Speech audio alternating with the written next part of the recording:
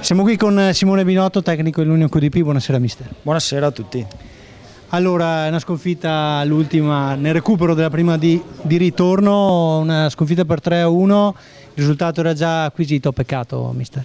Sì, peccato perché ci credevamo, almeno io ci credevo e volevo chiudere nel migliore dei modi, anche la squadra sicuramente eh, dopo un periodo in cui le partite per noi contavano tanto tanto, probabilmente a livello di testa abbiamo un po' mollato e oggi si è visto.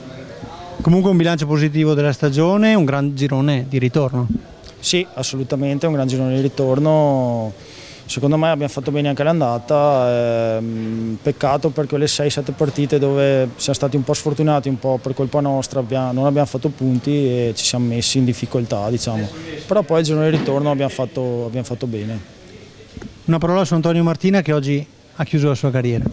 Sì, gran giocatore, veramente sia dentro che, diciamo, sia in campo che negli spogliatoi, un punto di riferimento per tutti e io spero rimanga con noi comunque anche se non come giocatore in altre vesti diciamo ecco. Grazie mister, in bocca al lupo per la prossima stagione. Grazie mille, ci vediamo.